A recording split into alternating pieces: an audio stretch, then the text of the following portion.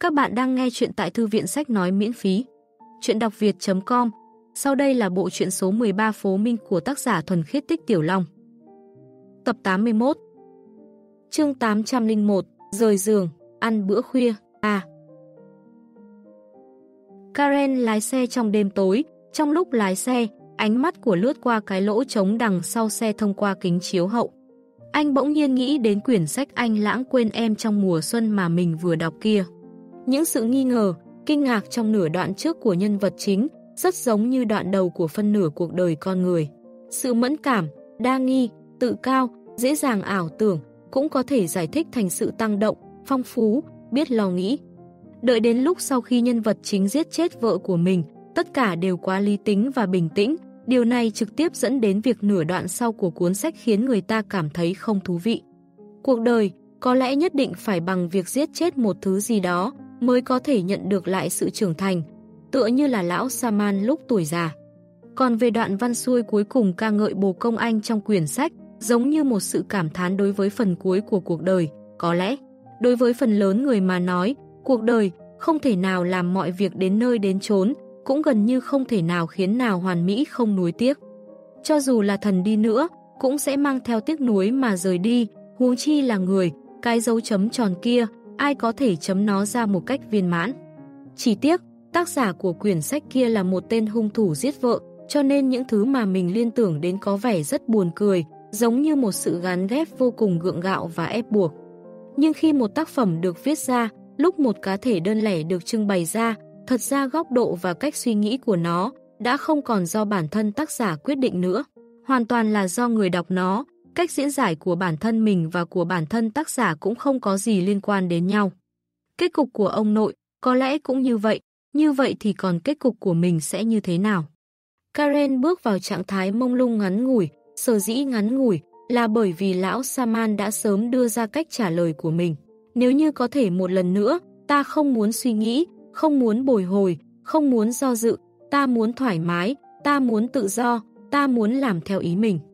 Khóe miệng của Karen nở một nụ cười, mình không phải đã có thêm một lần nữa hay sao? Alfred vẫn đang luôn quan sát Karen, đây là một tập quán quen thuộc của Alfred khi ở cạnh Karen, anh ta mở bản bút ký của mình ra, viết vào. Thần cũng sẽ cảm thấy mơ hồ, thần cũng sẽ biến mất, thần vĩ đại ở chỗ ngài ấy khác với chúng ta, nhưng thứ khiến thần vĩ đại cũng giống như chúng ta. Do dự một chút, Alfred lại viết tiếp, mặc dù tôi cũng không nguyện ý thừa nhận, nhưng vào thời khắc ấy, tôi cho rằng mình đã nghi ngờ thần. Tôi, có tội. Tôi cảm thấy, mỗi người tiếp xúc với thiếu gia đều sẽ bị thiếu gia thay đổi, cuộc sống ban đầu của họ, vận mệnh ban đầu của họ đều sẽ bị thiếu gia xóa đi. Lão Saman cũng không phải ngoại lệ, càng không phải là sự cố ngoài ý muốn. Tôi vẫn như cũ vững tin rằng, giống như thiếu gia đã nói vậy, tất cả mọi thứ đều đã có sắp xếp trước.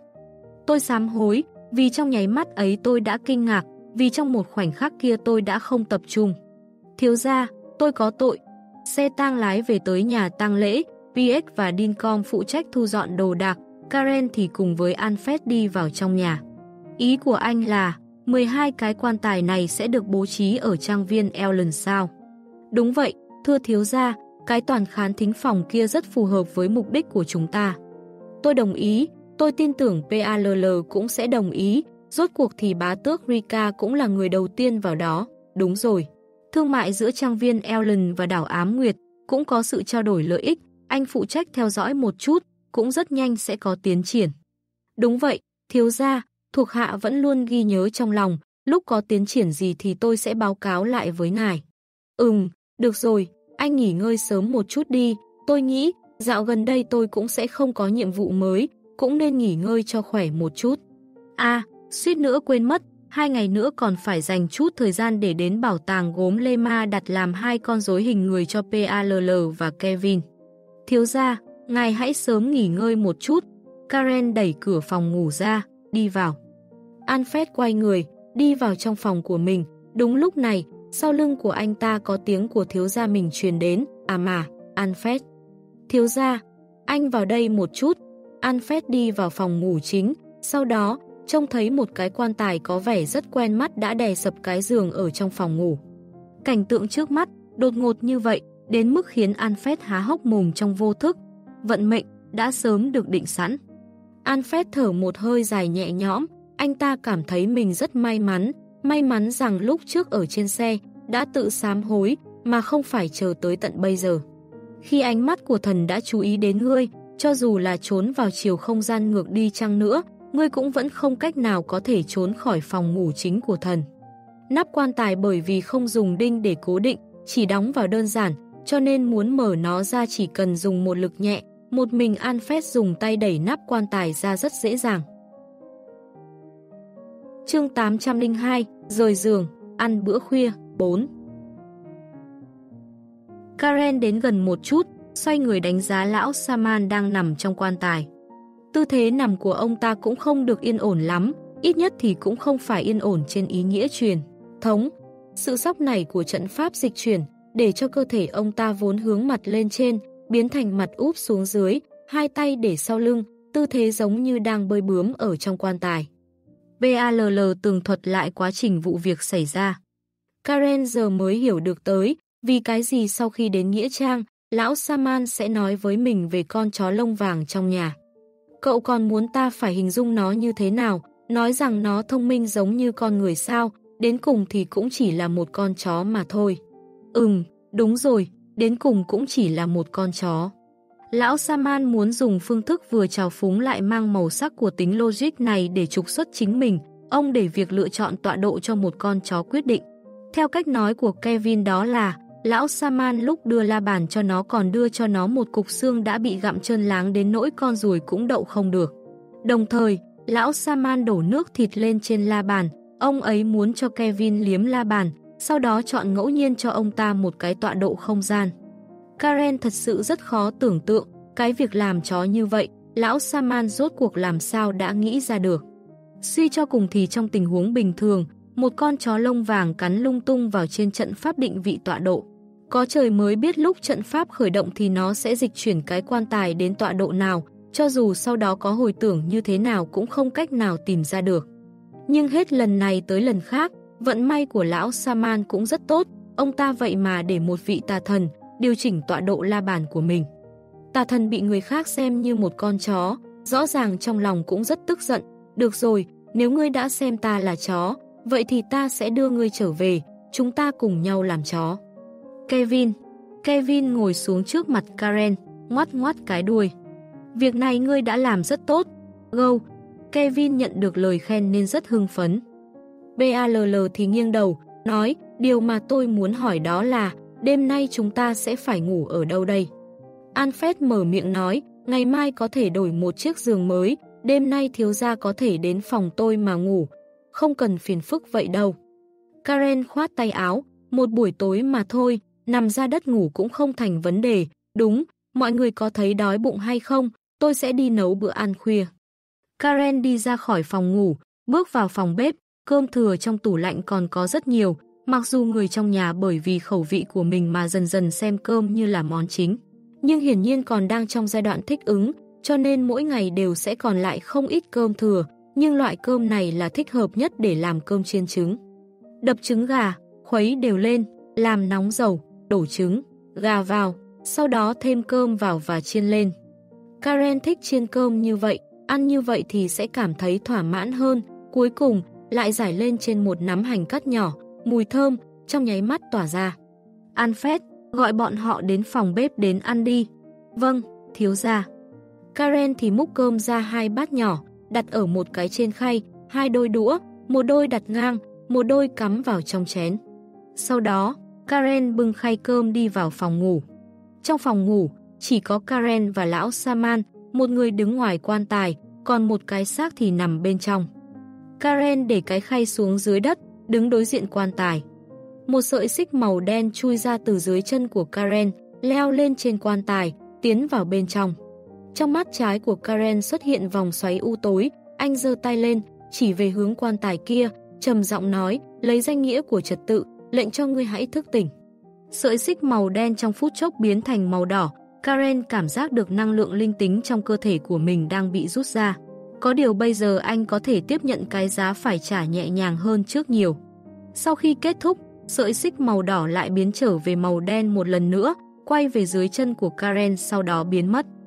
Karen ngồi xuống trên tấm nệm, cầm lấy một bát cơm chiên trứng, dùng đũa và cơm hai cái, ủng, hơi nhạt một chút, lần sau bỏ thêm một chút muối. Đúng lúc này, lão Saman từ từ thò đầu ra từ trong quan tài, ông ta dùng biểu cảm vô cùng ngạc nhiên mà đánh giá tình huống xung quanh. Chỉ cảm thấy nơi này sao lại nhìn quen đến vậy, ông ta cho rằng đây là thế giới ý thức sau khi chết. Mãi cho đến khi ông ta nhìn thấy trong cái phòng ngủ quen thuộc này lại có để cái tủ lạnh cũ của mình, ông ấy rốt cuộc cũng biết rõ đã có chuyện gì xảy ra. Nơi này là trong hiện thực mà bản thân mình bị thức tỉnh.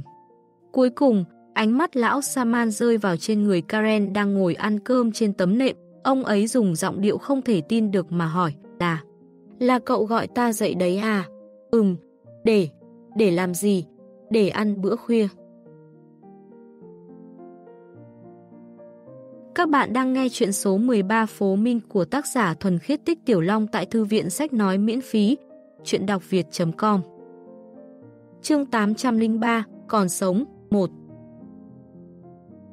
Lão Saman bò ra từ trong quan tài, sau đó, ông ta đứng ở bên cạnh, không đi ra ngoài, trong ánh mắt, một nửa là suy tư một nửa là cẩn thận. Rõ ràng là một cái gương mặt đã nếm đủ mùi đời, lúc này lại toát ra vẻ xa lạ và câu nệ của một đứa bé vừa mới đối mặt với thế giới. Karen thì tiếp tục ăn bát cơm chiên trứng của mình, anh thật sự rất đói bụng.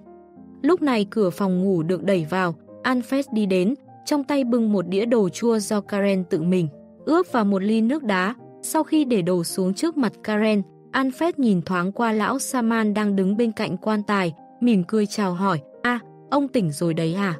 Sau khi bắt chuyện xong, Alfred lại quay người đi ra khỏi phòng ngủ, đóng cửa phòng ngủ lại.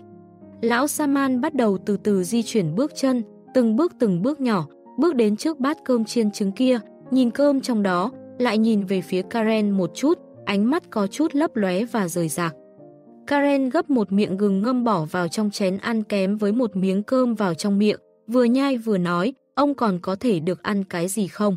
Ta, cũng không biết, vậy thì thử một chút đi. À, cũng được.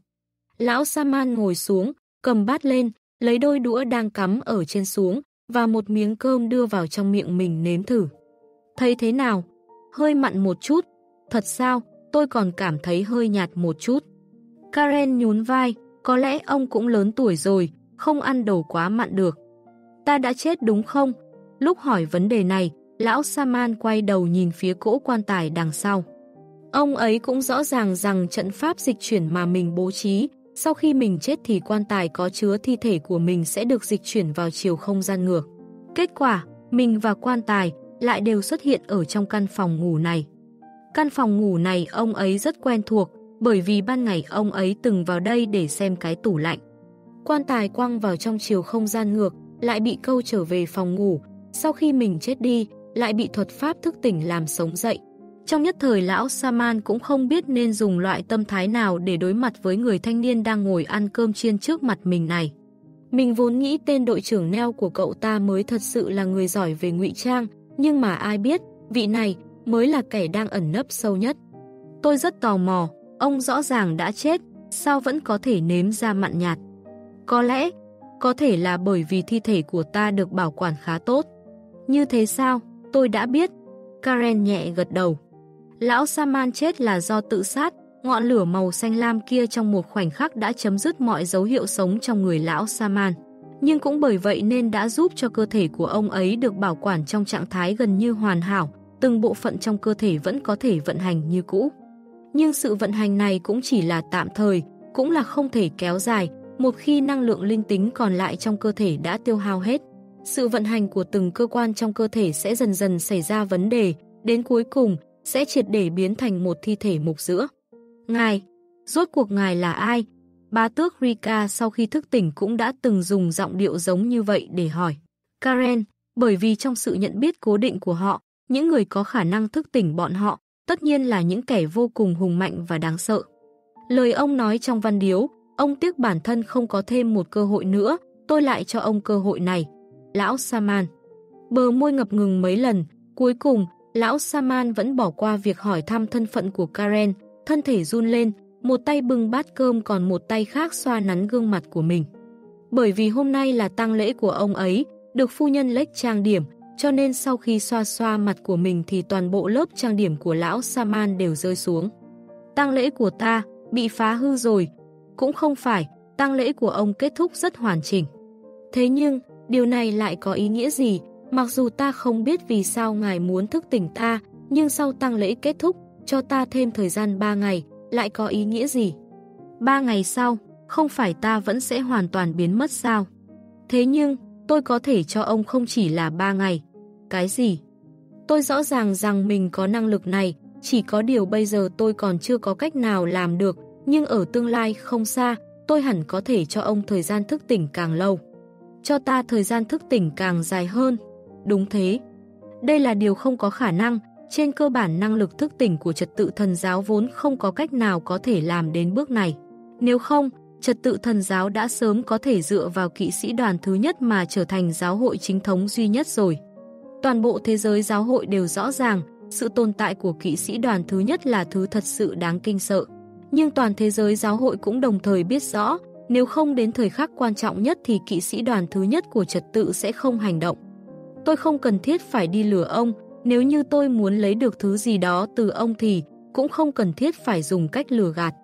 Lúc này, cửa phòng ngủ lại một lần nữa bị đẩy vào, PALL cưỡi Kevin đi đến. Karen, lần sau lại làm món cá đông nhiều hơn một chút được không? Không đủ ăn rồi. Được thôi, hôm nào có rảnh lại làm. Lão Saman nhìn PALL nói chuyện, một con mèo biết nói chuyện, cái này cũng không làm lão Saman bất ngờ lắm, yêu thú biết nói chuyện rất ít, nhưng ông ta cũng không phải chưa từng thấy qua. Trên đời này cũng có mấy cái gia tộc, tuyên bố với bên ngoài là hệ thống gia tộc tín ngưỡng, nhưng thật ra là có huyết thống của yêu thú. Lão già, ông tỉnh rồi à? VALL chào hỏi với lão Saman, nó trông thấy bát cơm trong tay lão Sam. Chết rồi cũng có thể ăn cơm được à? Ý của tôi là, sau khi ông ăn xong, thì có thể tiêu hóa chúng sao? Lão Saman đưa tay sờ sờ bụng của mình, nói, ta có thể cảm giác được, mặc dù rất chậm, nhưng nó vẫn đang từ từ chuyển động. Chương 804, còn sống, 2 A, à, vậy ông phải ăn trái cây nhiều một chút, cẩn thận bị táo bón đấy. BALL nhảy từ trên người Kevin xuống, bò tới trên bờ vai Karen, duỗi ra chân mèo cọ sát mặt của Karen, nói, ngày mai cậu đến bảo tàng gồm nhé. Ừm, hả? Không được. Sao vậy? Suýt nữa thì quên mất, ngày mai tôi phải đến nhà Richard để ăn cơm. À, gặp họ hàng thì vẫn quan trọng hơn, không có việc gì, tôi và Kevin có thể chờ một chút cũng được. Dù sao thì coi dối cũng không phải chỉ trong một khoảng thời gian ngắn thì làm ra được, chúng ta cần chừa thời gian cho Lema đi mua vật liệu quý hiếm một chút. Tôi cần phải chuẩn bị một ít quà biếu, có có đề nghị gì không? Vậy thì lúc cậu đến nhà của tôi thì có chuẩn bị quà biếu gì à? PALL hỏi. Không có, bởi vì đối với nhà cô mà nói thì bản thân tôi chính là món quà tốt nhất. PALL ngây ngẩn cả người, sau đó nhẹ gật đầu, nói, mặc dù nói ra lời này thì cậu cũng chả cần mặt mũi, nhưng có vẻ nó đúng là sự thật. Lúc Karen và PALL nói chuyện, Kevin đi tới trước mặt của lão Saman. Lão Saman nhìn con chó lông vàng này, gượng cười, ngồi xổm xuống, đưa tay sờ sờ lên cái đầu chó chọc lóc của nó. Kevin lui về sau hai bước, trên người nó vẫn cứ cõng một cái ba lô nhỏ. Vào lúc này nó bỏ ba lô nhỏ xuống đất, dùng chân chó lấy ra một cái la bàn từ bên trong, để trước mặt lão Saman. Cho tới bây giờ, lão Saman cũng không cảm thấy có cái gì hiếm lạ, mãi cho đến khi ông ta phát hiện con chó này vậy mà đang dùng cái chân chó của mình mà điều chỉnh tọa độ không gian của cái la bàn tinh vi này.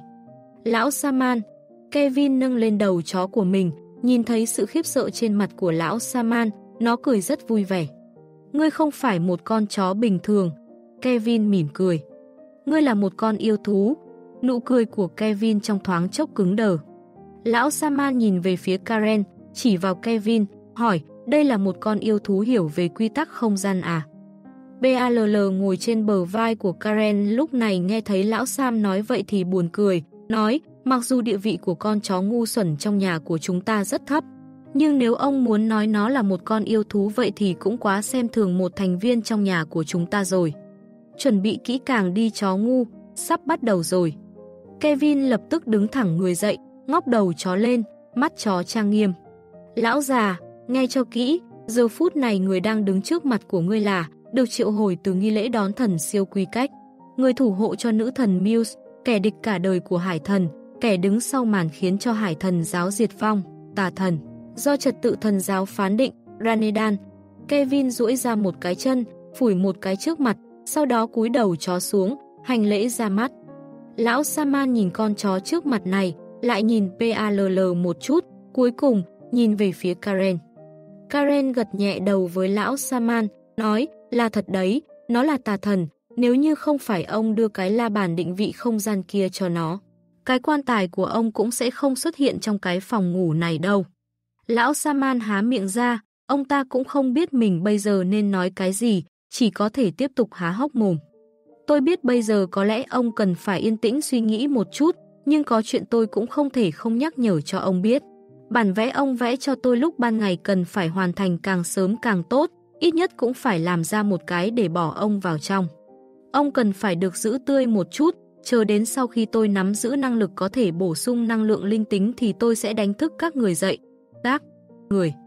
BALL mở miệng nói, ông cũng không là kẻ thứ nhất, ông là thứ hai, người thứ nhất là đứa con của biển cả, lãnh tự đưa gia tộc Ellen đến sự thịnh vượng.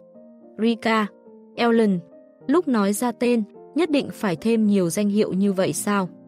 Karen nhìn về phía PALL, như vậy có phải nghe có chút hơi lố lăng không?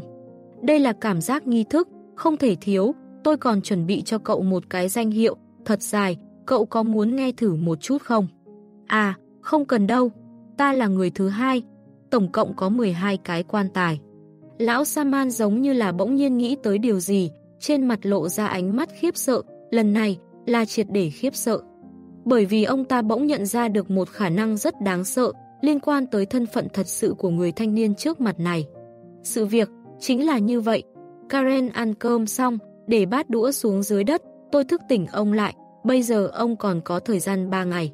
Nếu như ông muốn giành lấy thêm một cơ hội nữa thì bây giờ có thể bắt đầu việc chế tạo quan tài. Đương nhiên, nếu như ông từ chối, tôi cũng sẽ không làm khó ông, mặc kệ ông có tin hay không tin, tôi cũng không có năng lực gì để làm khó dễ ông cả. Cứ xem như ông có 3 ngày để nhìn lại ánh mặt trời, thậm chí có thể bố trí lại một cái trận pháp dịch chuyển để dịch chuyển bản thân vào lại trong chiều không gian ngược thì cũng không sao. Nhưng lần này, đừng có kiếm một con chó để điều chỉnh tọa độ nữa. Tại sao ta phải từ chối chứ nhỉ? Lão Saman cười, ta của bây giờ, thật ra đã không còn là ta của lúc đầu, bởi vì ta của bây giờ cũng chỉ có ký ức của trước kia mà thôi. Đây là vấn đề về triết học. Karen nói, ta, ta không phải đang muốn biện luận. Về vấn đề này, ta chẳng qua chỉ đang cảm thấy bản thân mình bây giờ rất tự do. Bởi vì bây giờ ta đã không có quan hệ gì với Pamine giáo cả, ta có thể tự do và làm theo ý của mình, có phải không? Đúng thế, ta có cần phải thần phục với ngài không? Lão Saman hỏi. Các bạn đang nghe chuyện số 13 Phố Minh của tác giả Thuần Khiết Tích Tiểu Long tại Thư viện Sách Nói miễn phí, chuyện đọc việt.com Chương 805, Còn sống, A Tôi không cần thần phục trên mặt hình thức. Karen lắc đầu, ông hỏi vấn đề này không có chút ý nghĩa nào. Đúng vậy, hoàn toàn chính xác không có chút ý nghĩa nào khi ngài có được năng lực thức tỉnh lại chúng ta. Thì thật ra chúng ta đã chịu sự khống chế của ngài, nhưng ta bây giờ cũng không có sự lựa chọn gì khác. Vậy chúng ta nên tăng nhanh tiến độ lên đi, nhà kho ở đâu, vật liệu mua về chưa, mọi thứ đã dự bị xong chưa, ta nghĩ ngay bây giờ nên bắt đầu làm việc. Sau khi nằm vào trong quan tài được chế tạo đặc biệt thì dù sao cũng còn thời gian để suy nghĩ, hồi tưởng lại những việc xảy ra vào ngày hôm nay. Có thể, gọi tên người hầu kia của ngài tới đi. Alfred, Karen gọi một tiếng. Alfred đẩy cửa phòng ngủ đi đến, nhìn lão Saman, cười nói, cách thiết lập tâm lý của ông tốt hơn rất nhiều trong suy nghĩ của tôi đấy. Ta muốn biết cái vị thứ nhất kia, đối mặt với tình huống này thì xử lý thế nào? Lão Saman hỏi. Alfred hồi đáp, ông ta trực tiếp quỳ xuống. Lão Saman. Đương nhiên, ông cũng không cần quỳ, thiếu gia cũng không thích cách hành lễ này, thứ thiếu gia theo đuổi là sự bình đẳng. Bình đẳng trên nhân cách, bởi vì chúng ta có chí hướng giống nhau khi đang theo đuổi trên cùng một con đường chân lý.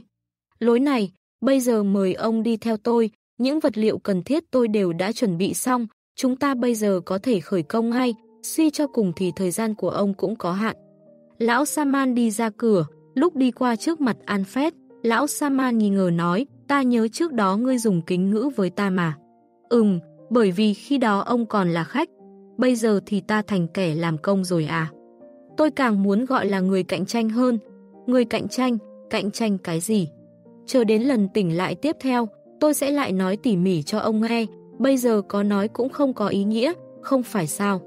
Được rồi, ta sẽ nhắc nhở ngươi, lần tỉnh lại tiếp theo. Đương nhiên, Alfred dẫn lão Saman đi ra phòng ngủ, ra tới trong sân.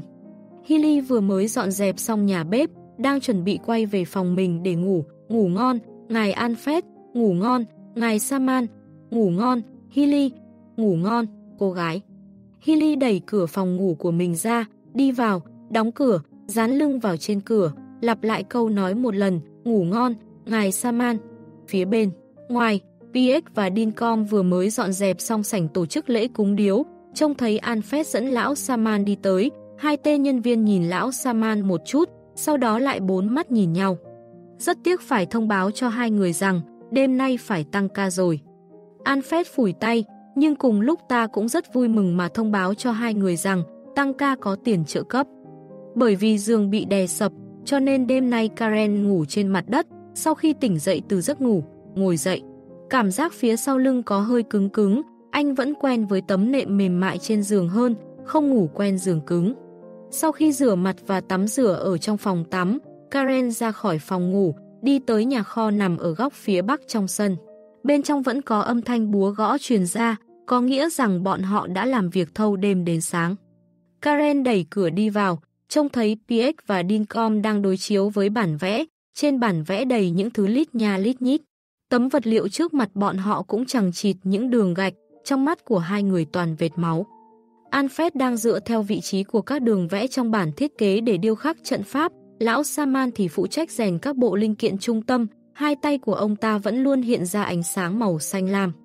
Cảnh tượng thủ công vô cùng nguyên thủy, giống như cuộc sống của những người thợ mộc, không có chút cảm giác cao cấp nào, nhưng rất nhiều chi tiết bên trong. Đều tràn đầy hương vị học vấn, Alfred chỉ mặc một chiếc áo ba lỗ, tinh thần rất cao, rõ ràng trong một đêm này, anh ta hỏi hỏi và biết thêm rất nhiều điều. Buổi sáng tốt lành, Karen chủ động chào hỏi. Buổi sáng tốt lành, ông chủ. Buổi sáng tốt lành, ông chủ. Buổi sáng tốt lành, thiếu gia. Lão Saman nhìn về phía Karen, ông ta đã trải qua một đêm làm việc, mặc dù vẫn không có thể sắp xếp lại toàn bộ thông tin tối ngày hôm qua theo ý của mình. Nhưng ít ra cũng làm theo tâm tình của bản thân, ông ta nhìn Karen, bất đắc dĩ nói, Ngài là tên chủ nhà máy có lòng dạ hiểm độc nhất mà ta từng thấy, không, chủ nhà máy có ác độc đến mức nào nếu so ra cũng kém một phần nghìn. Tôi làm gì chứ? Ta thật sự không nghĩ tới, ban ngày lúc còn sống ta phải ngồi vẽ bản thiết kế, ban đêm sau khi chết ta còn phải bị gọi dậy để hoàn thành nó. Chủ nhà máy người ta cũng chỉ nghiền ép sức lao động của công nhân bằng việc bắt họ làm việc trong thời gian dài, còn ngài ngay cả người chết cũng không tha. Chính thứ mà ông thiết kế ra, chắc chắn ông có thể hoàn thành nó dễ dàng và nhanh chóng hơn, quan trọng nhất đó chính là cái quan tài thứ nhất do ông làm ra thì mới có kinh nghiệm chế tạo những quan tài tiếp theo, chất lượng tốt hơn. Lão Saman liếc mắt nhìn Karen, sau đó tiếp tục quay lại công việc trong tay. Karen quay người rời đi, đi vào nhà bếp, trông thấy Hilly đang ngồi trước cửa nhà bếp để bóc vỏ tỏi. Nghe thấy tiếng bước chân Hilly ngẩng đầu nhìn một chút, lập tức đứng người lên, thiếu ra, chào buổi sáng. Chào buổi sáng, ngài muốn tự làm bữa sáng sao? Tôi nấu chút sủi cảo ăn thôi. Vâng, thiếu ra. Hilly lại ngồi xổm xuống, nhưng lần này quay người, hướng lưng về phía Karen. Karen đang chuẩn bị đổ nước vào nồi để nấu. Phu nhân Lech đi tới, nói với Karen, bên ngoài có người tới tìm, tên là Burger. À, vâng, tôi để cho cậu ta vào nhà nhé. Ừm, là người một nhà. Karen đi ra phòng bếp, trông thấy Burger đang đứng trong lối vào ngoài sân, Burger đeo một cái cặp sách. Cho tới nay, Burger vẫn là người liên lạc giữa mình và trang viên Ellen. Đi vào phòng sách đi. Karen nói, được rồi, thiếu ra. Sau khi bước vào phòng sách, Burger lấy ra mấy phần tài liệu ở trong cặp sách. Đây cũng quá trình mậu dịch thương mại gần đây giữa trang viên Ellen và đảo Ám Nguyệt, chỉ có điều đối với mấy cái này, Karen cũng không phải cảm thấy rất hứng thú. Thứ thật sự làm anh thấy hứng thú đó chính là hai lá thư nằm bên cạnh đống tài liệu kia. Ngươi đã ăn sáng hay chưa? Karen hỏi Burger. Tôi thấy đói, thiếu ra, tôi vào nhà bếp ăn ké buổi sáng rồi quay về trang viên sau. Ha ha. Chờ đến sau khi Burger rời khỏi, Karen cầm lá thư thứ nhất lên, phía trên ký tên là Ophelia. Một bức thư bì màu xanh lam nhạt, có vẻ rất tinh xảo, còn tỏa ra mùi thơm nhàn nhạt, nhạt. Aha, tốt lắm, bị tôi bắt tại trận rồi nhé. BALL bỗng nhiên xuất hiện, nhảy lên trên bàn đọc sách, chỉ vào bức thư của Ophelia trong tay của Karen. Tiếp tục nói, nhìn xem bức thư này, cái bì thư này, mùi nước hoa này, chật chật, đây chính là chứng cứ, chứng cứ. Đây là chứng cứ. Karen hỏi, đây không phải là chứng cứ thì là cái gì? Vậy thì, đây lại là cái gì? Karen cầm lên bức thư thứ hai, bì thư là màu hồng phấn, phía trên vẽ hình tượng ám nguyệt, ở giữa vầng trăng còn có một ký hiệu hình trái tim, ký tên Bernard. BALL cả thân mèo sững sờ trên bàn đọc sách, kinh ngạc nói, hắn, hắn ta sao có thể vẫn còn sống. Chương 806, ông ngoại bà ngoại, 1 Tôi cảm thấy rất có thể là thư tình mà trước đây ông ta đã viết, chỉ có điều bởi vì lần trước người của đảo Ám Nguyệt tìm thấy mộ của cô. Cho nên cái bức thư tình này cũng được đưa đến trang viên Ellen, dựa theo ý của bọn họ hẳn là nên để trước bia mộ của cô, để an ủi nỗi tương tư của linh hồn cô trên thiên đàng. BALL chừng mắt nhìn, nhìn về phía Karen, móng mèo từ từ nhô ra. Sự kiện này đã được giải quyết xong, lần trước cũng đã nấu món cá cho cô rồi. Thế nhưng mà nó đã mang đến cho tôi hai lần tổn thương tâm, lý. Thế nhưng mà sau khi cô ăn món cá tôi làm vẫn cảm thấy hương vị đọng lại mãi. BALL nâng đầu lên, nói, a đáng chết, sao cậu vẫn luôn có thể phản bác kịp thời như vậy chứ? Tôi có thể mở nó ra để xem không? Karen hỏi. Mở nó ra đi. Thật sự cho mở ra à? Mở ra đi, nếu tôi không cho cậu mở ra, cậu lại đem nó giấu đi, đó chính là lần tổn thương tinh thần thứ ba. Được rồi. Karen mở thư ra, bên trong thế mà còn có một bì thư khác. Bì thư này cũng có chút ố vàng tất nhiên đã có niên đại khá lâu đời. Mở bì thư bên trong ra, lấy giấy viết thư ra, VALL thân yêu. Không biết đã bắt đầu từ lúc nào, tính mạng của anh bởi vì em mà chia cắt, trước lúc gặp được em, sau khi được gặp em, trước lúc chúng ta chia xa và sau khi chúng ta cách xa nhau. Sự tồn tại của em đã để lại dấu ấn không thể phai nhòa trong lòng của anh, những lúc mà anh không thể thở nổi. Anh sẽ nhớ đến em, nhưng lúc anh nhớ đến em, anh sẽ lại cảm thấy mình không thể thở nổi. Khục, Karen ho một tiếng, vị Bernard này thật sự rất thích dùng cách viết song song nhỉ. BALL nằm sấp ở trên bàn sách, liếc mắt nhìn Karen. Karen nhịn không được mà đưa tay vuốt vuốt đầu PALL, mắt của con mèo trợn trắng, bộ dáng này xác thực cũng rất đáng yêu. Ký tên dưới cuối thư, thời gian là vào 100 năm trước, cho nên Karen đoán đúng. Tôi tin rằng cái bức thư này chắc là có ghi chú, nhưng lão Anderson là một đứa con cháu rất hiếu thuận, cho nên vẫn chuyển cái bức thư này đến nơi ở của chúng A. Tính toán thời gian thì lão Anderson cũng nên vào Nghĩa Trang mà nằm rồi. Cái này cũng không nên trách ông ấy. Được rồi, tôi phải ra vườn đọc sách một lúc. A, Karen bé nhỏ thân yêu của tôi, cậu có phải đã quên rằng mình vẫn còn một bức thư còn chưa mở ra xem không? À, có phải không? Đúng vậy, cậu vừa nhét nó vào ngăn kéo qua cái khe hở đấy. Là do không cẩn thận nên nó trượt xuống thôi. Được rồi, ta tin tưởng là nó trượt xuống, nhưng bây giờ, chúng ta nên mở phong bì thư ra để nó được hít thở không khí chứ nhỉ, không phải sao?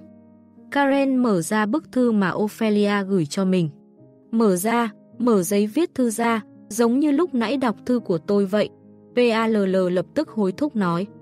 Karen mở giấy viết thư ra, ngài Karen, từ lúc chúng ta nói lời tạm biệt đã.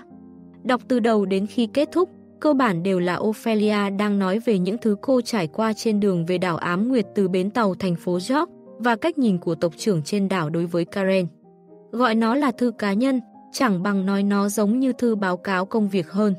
Lúc đầu PALL đọc đến mức buồn ngủ, nhưng khi ánh mắt của cô rơi vào đoạn chữ, phía dưới cùng lập tức hưng phấn mà dùng móng vuốt đập vào chỗ đó, ở đây này, ở đây này, có thấy không, có thấy được không?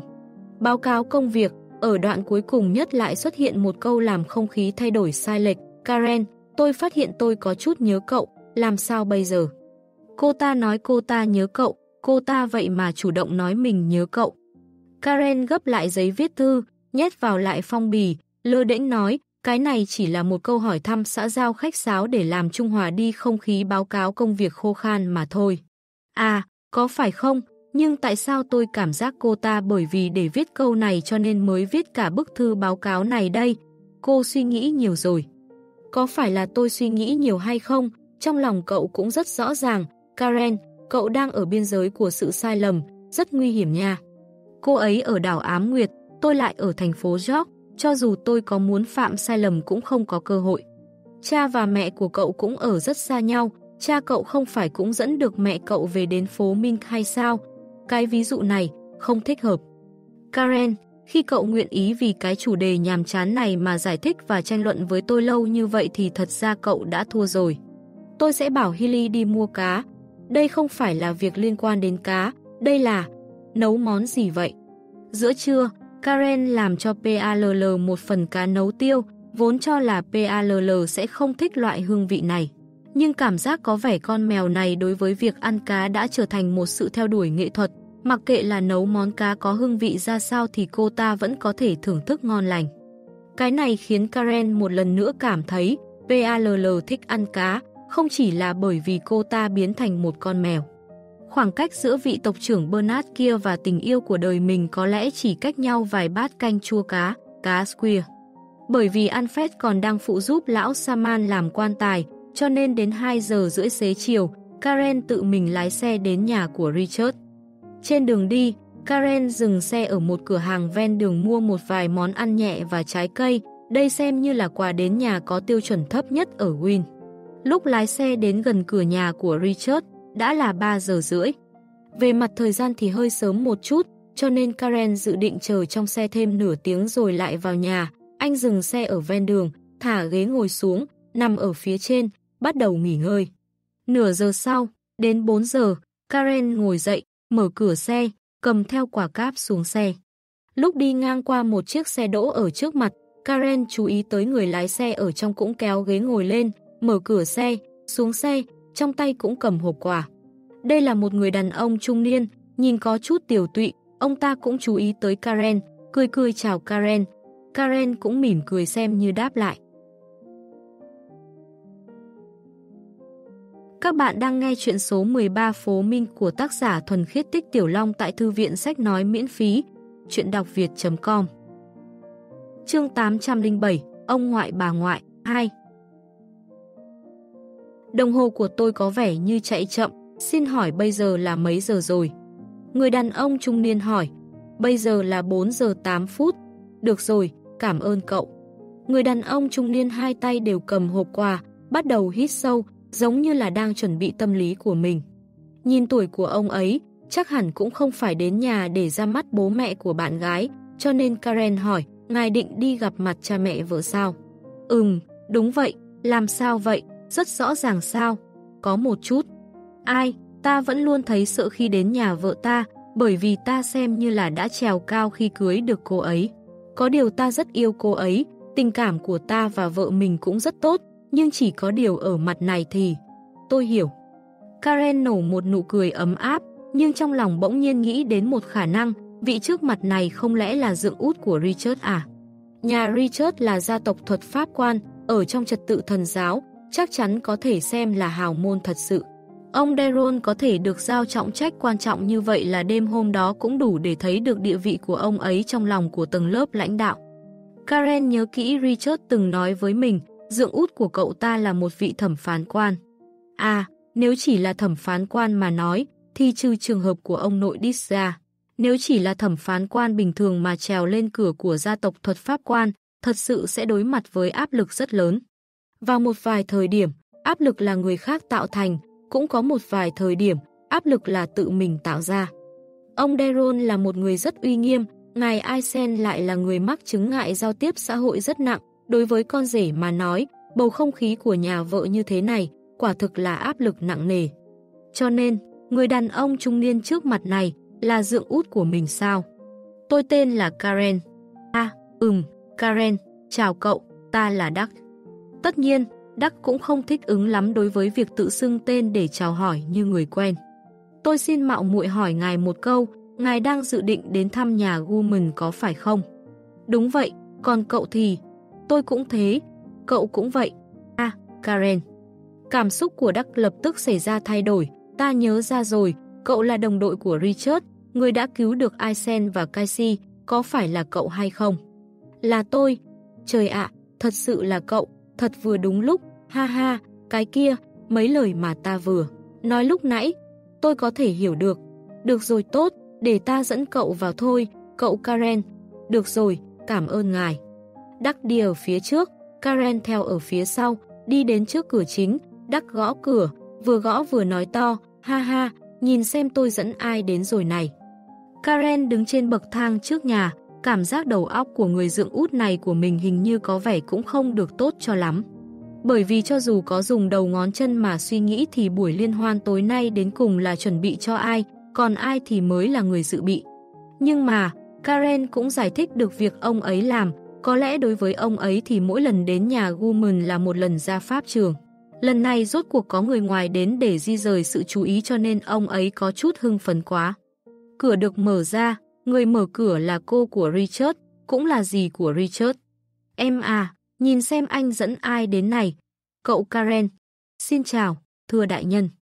Karen xưng hô đại nhân, nhưng không có hành lễ, bởi vì như vậy có vẻ hơi quá. Cậu có thể gọi ta là Lucy, chúng ta đều đang đợi cậu đấy, chào mừng ngài đã đến. Đối với ân nhân cứu mạng của anh trai và chị dâu mình, thuật pháp quan Lucy biểu lộ sự kính trọng rất lớn.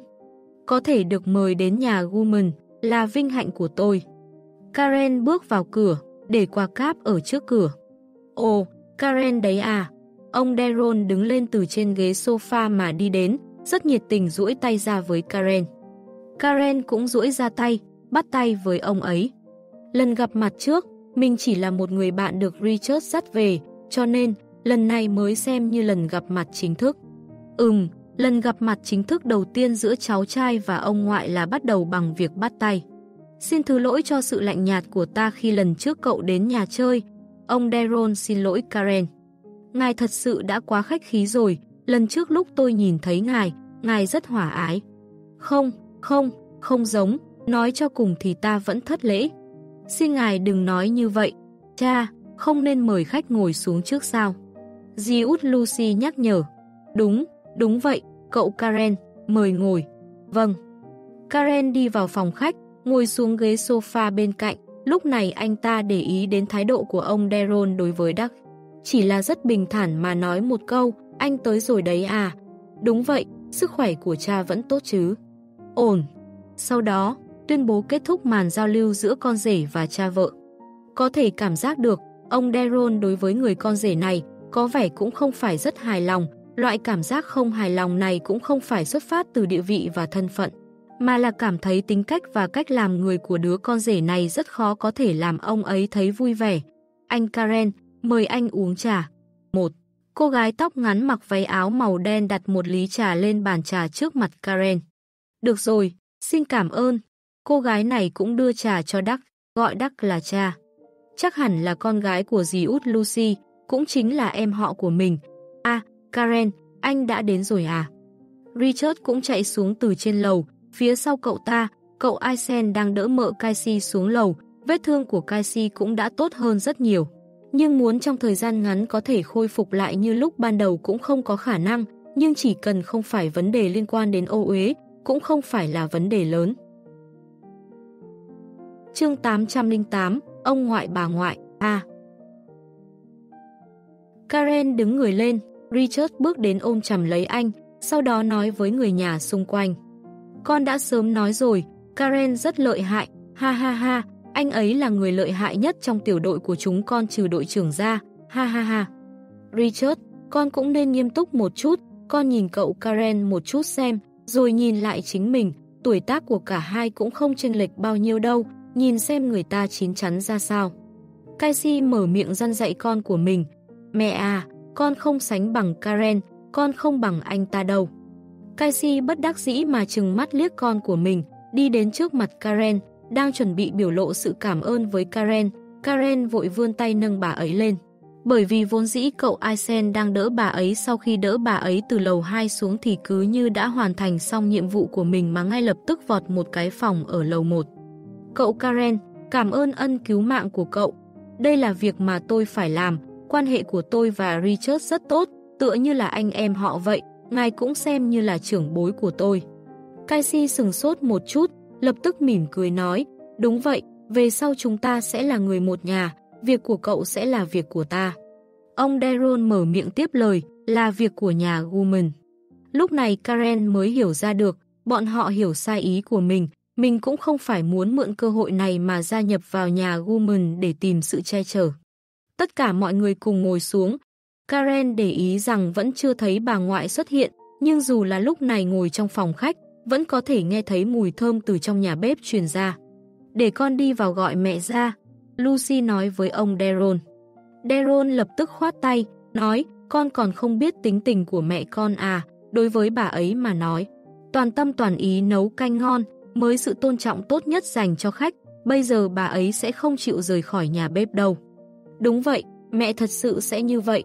Lúc này ông Daron lại đưa tay, chỉ về phía Lucia, cười nói, Lucia, cháu cảm thấy cậu Karen như thế nào? Lúc này Lucia đỏ mặt, oán giận nói, ông ngoại, ông đang nói cái gì? Đấy, ồ, ông chỉ đang nhắc nhở cháu, vào một vài thời điểm tuyệt đối không nên do dự. Giống như là lúc cha cháu theo đuổi mẹ của cháu vậy, trong khi ông còn chưa kịp phản ứng thì bọn họ đã ở chung một chỗ rồi. Trên mặt đắc lộ ra vẻ ngượng ngùng, Lucy thì chủ động hỏi Karen, bây giờ cậu Karen vẫn còn đang độc thân chứ? Karen còn nhớ rõ lần thứ nhất lúc Lucy nhìn thấy mình, là gần khu vực tòa cao ốc giáo vụ bị sập, lúc đó bà ấy đối mặt với mình chỉ lạnh lùng mà hỏi mình là ai. Lần này, bà ấy lại giống như đang giật dây cho con gái mình. Sự chuyển biến thái độ này không chỉ là bởi vì chính anh trai và chị dâu của bà ấy, càng nhiều là bởi vì nhận biết được thực lực của mình từ trong miêu tả của Richard và Casey. Thế giới này mãi mãi cũng thực tế như vậy, chớ nói chi là người xa lạ, cho dù là thái độ giữa người thân trong gia đình, cũng xem trọng thực lực giống như nhau thôi. Karen trả lời ngay, tôi đã đính hôn rồi. À như vậy sao?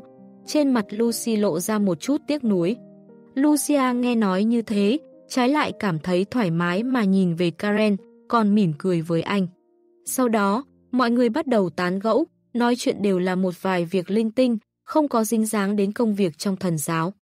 Có thể thấy được, cả nhà này có lẽ cũng không biết cách tán gẫu, ngay từ đầu cũng là để cho khách đến nhà không cảm thấy không khí quá nhạt nhẽo mà cố gắng tìm lời mà nói chuyện.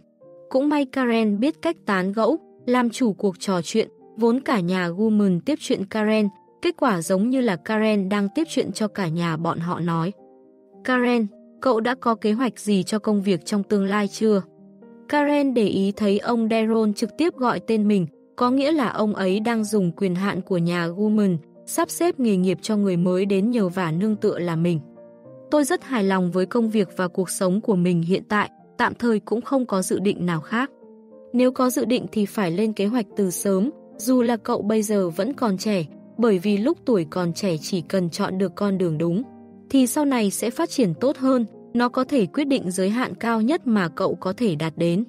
Lúc nói ra mấy lời này, Daron còn nhìn lướt qua con rể đắc của mình, giống như Đắc chính là một ví dụ tiêu cực điển hình. Quan trọng nhất đó chính là năng lực của cậu rất tốt, trong thần giáo có một cái truyền thống.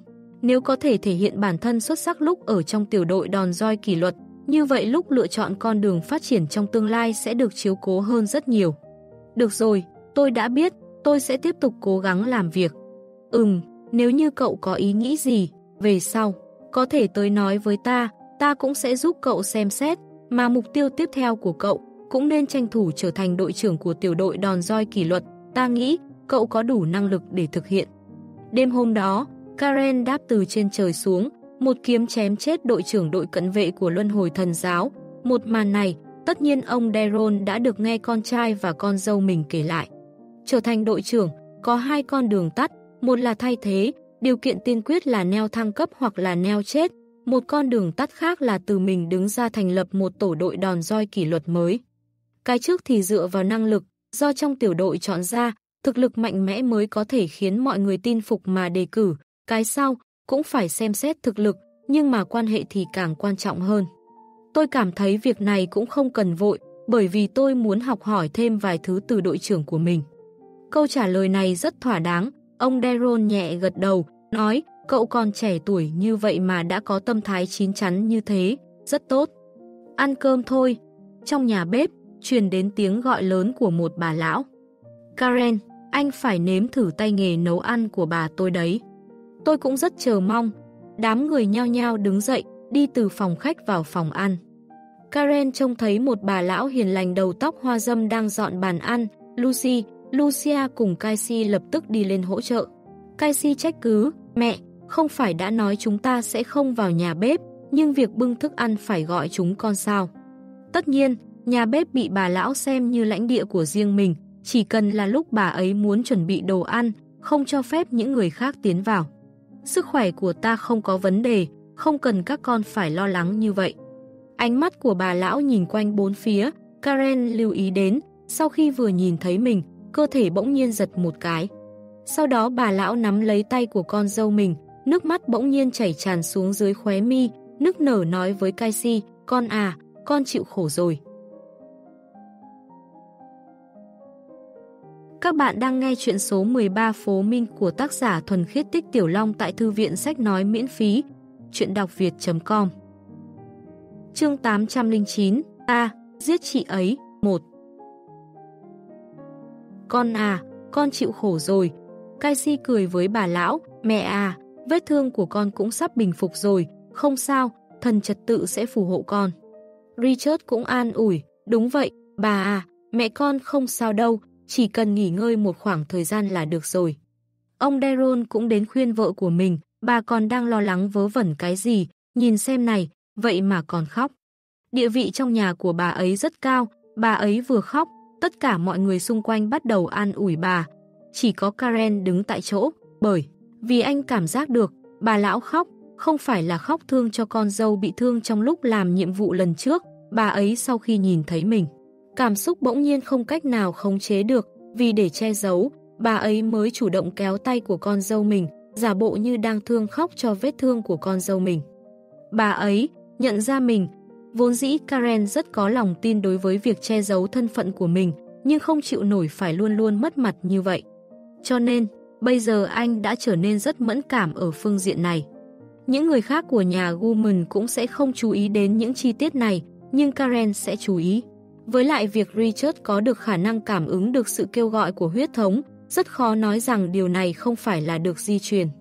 Bà lão cuối cùng cũng dừng khóc, cô ý quay đầu nhìn về phía Karen, vừa dùng khăn tay lau nước mắt vừa nói, đây chính là cậu Karen đấy sao? Là tôi, chào phu nhân. Tốt tốt tốt. Bà lão nhẹ nhàng đẩy ra người nhà đứng bên cạnh, chủ động đi về phía Karen, lớn tuổi, con mắt cũng không được tốt, ta đến gần một chút xem cho kỹ. Tay Karen bị bà ấy nắm được, tay của bà ấy rất ấm áp. Một cậu thanh niên rất tuấn tú, gương mặt thật dễ nhìn. Ha ha, bà nội, cháu từng nói rồi mà, dáng vẻ của Karen rất xuất chúng đấy, bà biết không, cho dù là vị công chúa của đảo Ám Nguyệt vừa đến thành phố York vài ngày trước, cũng xem trọng anh ấy đấy nha. Không riêng gì cái lớp da bên ngoài đẹp, khí chất cũng tốt, chín chắn, con nhìn lại bản thân mình xem, giống kiểu gì. Cháu vốn là không muốn so với anh ta, cũng không sánh bằng. Tính tình của Richard rất tốt, cậu ta sẽ không bởi vì bị hạ thấp khi so sánh với con cái nhà người ta mà cảm thấy tức giận. Có cái gì mà không sánh bằng, có cái gì không thể so được.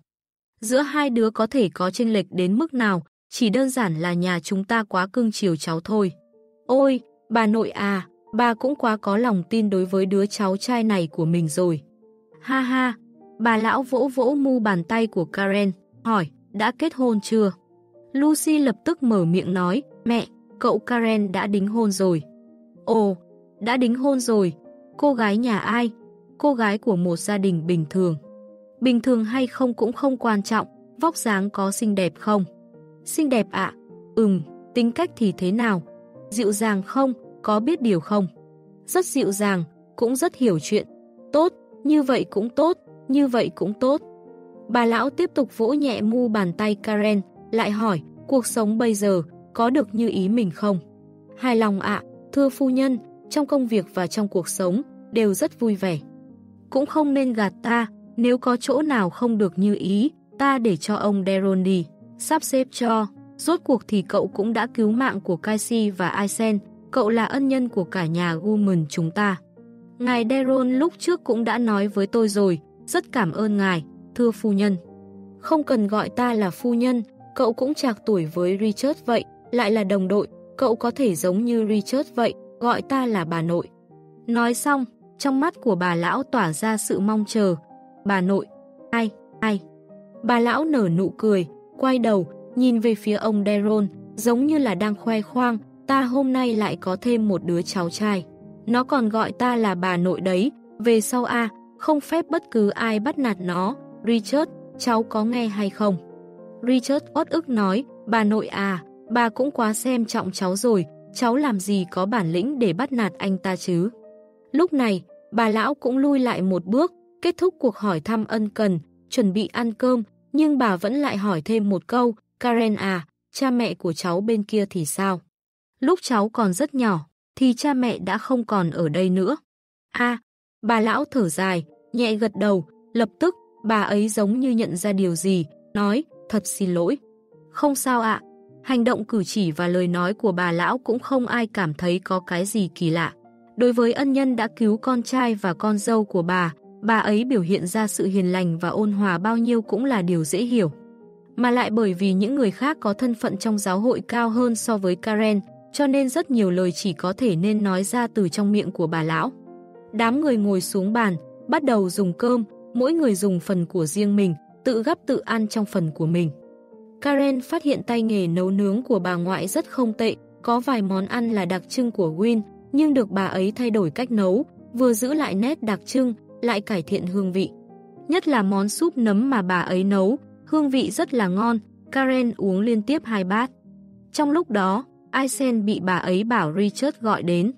Người cậu này của mình ngồi xuống bàn ăn, sau đó đứng dậy, mỗi một món đều gặp vào trong mâm của mình một chút, sau đó múc một bát canh, lại ngồi xuống. Ăn hết tất cả các món trong mâm theo một trình tự, cuối cùng thì dùng thìa múc canh đưa vào miệng. Sau khi ăn ăn uống uống xong, lau miệng, con ăn xong rồi, mọi người từ từ dùng. Đứng dậy, rời bàn, rời khỏi bàn ăn giống như đang chạy nạn. Ai? Bà lão thở dài, hiển nhiên, tất cả mọi người trong nhà đối với cảnh này đã thành thói quen. Nhưng sau đó bà lão vẫn nhìn về phía Richard, lần trước mẹ cháu không phải đã bảo cháu sắp xếp một vị bác sĩ tâm lý rồi hay sao?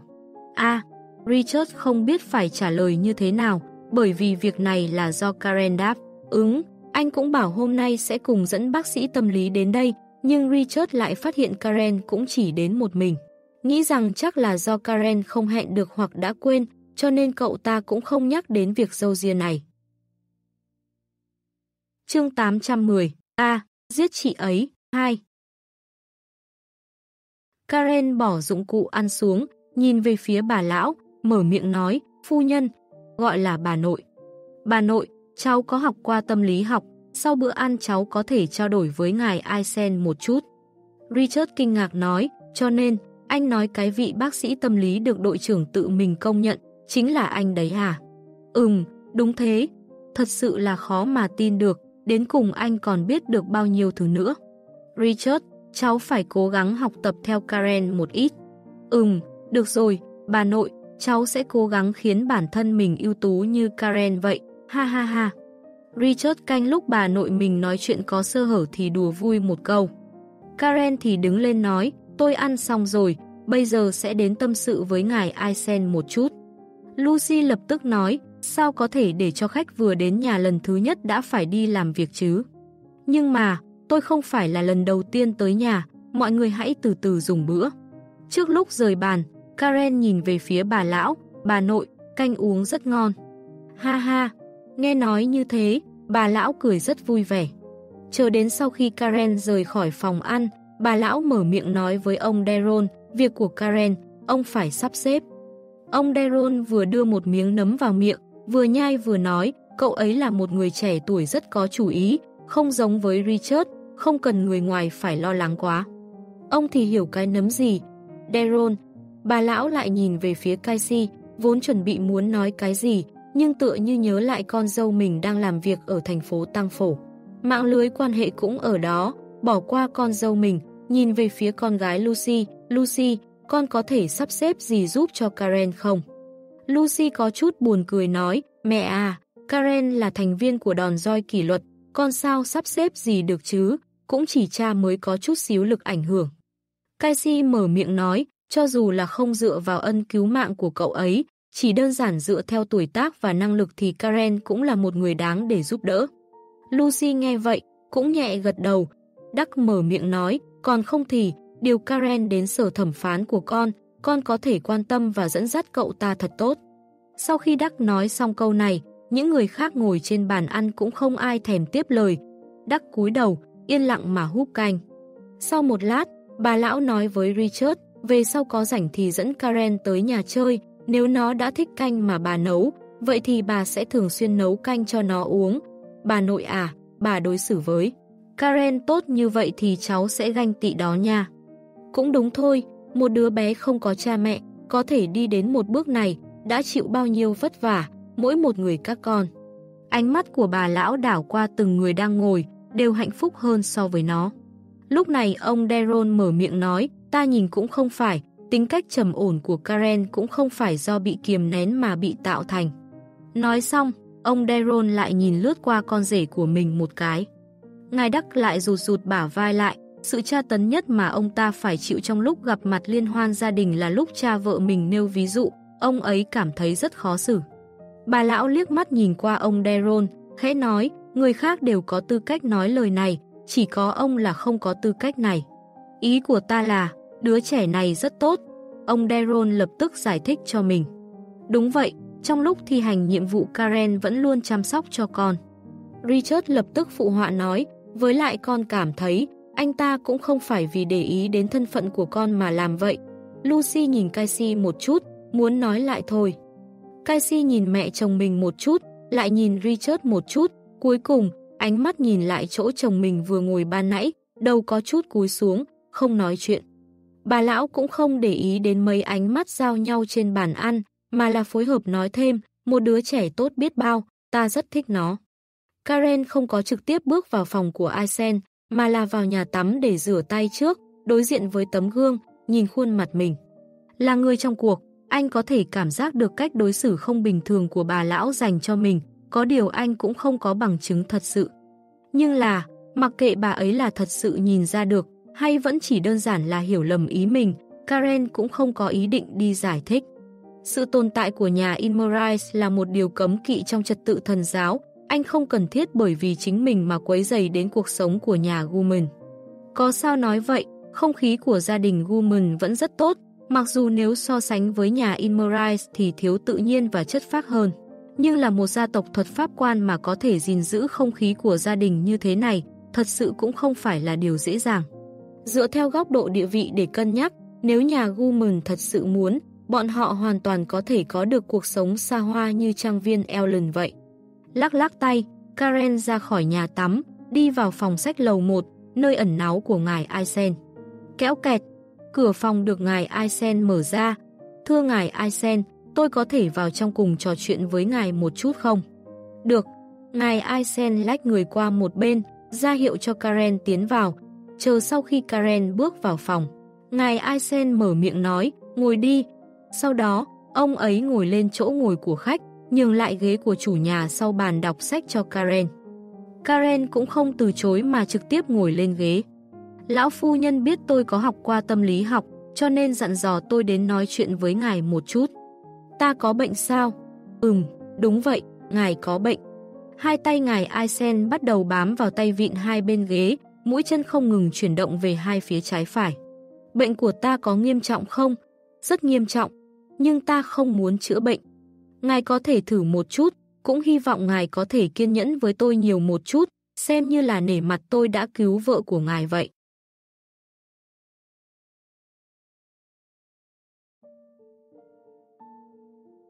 Các bạn vừa nghe xong tập 81 của bộ truyện số 13 Phố Minh của tác giả Thuần Khiết Tích Tiểu Long tại Thư viện Sách Nói miễn phí chuyện đọc việt.com. Nếu bạn không muốn gián đoạn bởi quảng cáo của YouTube khi nghe thì có thể truy cập trực tiếp website chuyện đọc việt.com để thưởng thức bộ truyện. Đường link truy cập mình để ở phần mô tả. Mọi ý kiến góp ý xin vui lòng cho mình biết ở dưới phần bình luận video này. Và các bạn đừng quên nhấn like và theo dõi để giúp kênh phát triển nhé. Xin cảm ơn.